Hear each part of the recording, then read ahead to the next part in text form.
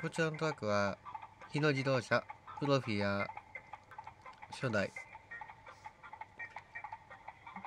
です。製造学費は1993年から2000年までの製造されたトラックです。こちらのトラックはかなり古いです。真ん中の日の印が結構目立ってるマークです。